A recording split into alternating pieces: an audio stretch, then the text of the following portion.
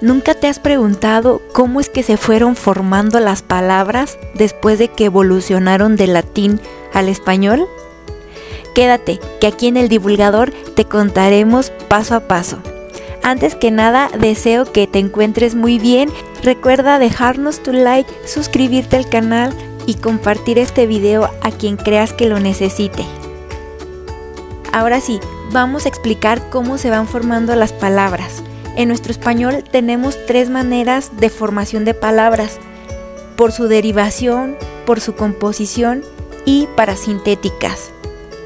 Antes de ir explicando cada una de ellas, es importante entender lo que es el prefijo y lo que es el sufijo.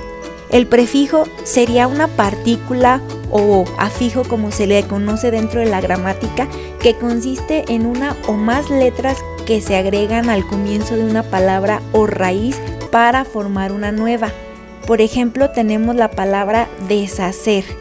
Tengo ahí mi raíz, que sería la palabra hacer, y si le aumento el prefijo des, las uno y formo un nuevo concepto, que en este caso sería deshacer.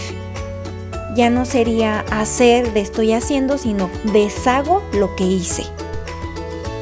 Por otro lado, el sufijo son un tipo de partículas morfológicas o morfemas que sirven para componer una palabra agregándose a la raíz o también llamado tema. Yo le llamaría algo sencillo letras que se añaden a la raíz o al tema.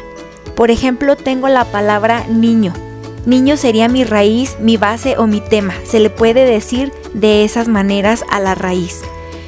Si le agrego las letras ito, a lo que le voy a llamar sufijo, ya voy a formar un nuevo significado. Ya no estoy diciendo niño, sino le estoy agregando una cuestión emocional, niñito, porque podría ser de una forma despectiva, ay mira ese niñito, algo desagradable, o de una forma cariñosa, mira ese niñito.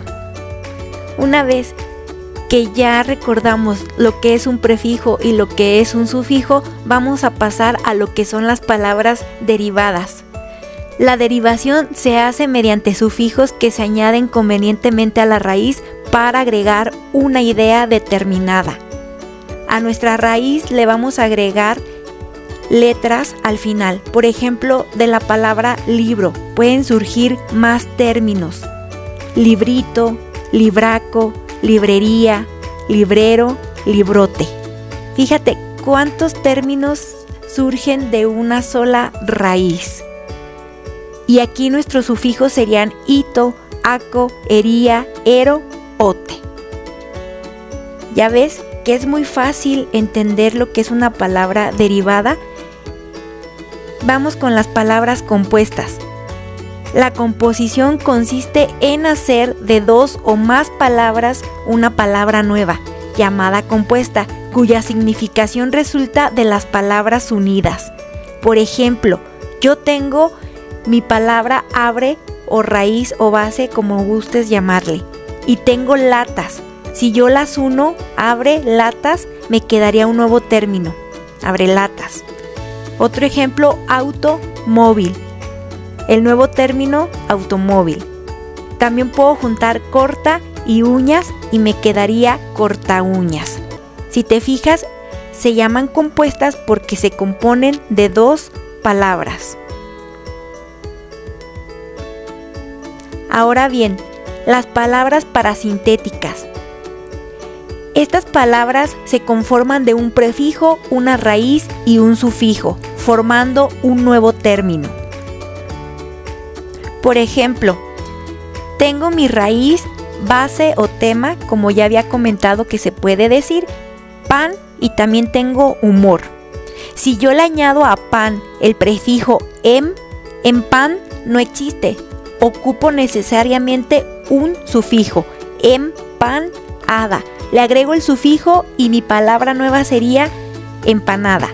De humor, le agrego mal y le agrego el sufijo ado malhumorado o malhumorada y me da una nueva palabra. Ahora inténtalo tú en casa. Y los que ya son expertos en esto, excelente. Espero que esta información te haya servido y compártela Y no olvides suscribirte al canal, dejarnos tu like y si tienes algún comentario alguna duda, déjanoslo saber. Muchas gracias y esto fue el divulgador en la puerta de la curiosidad. Hasta la próxima.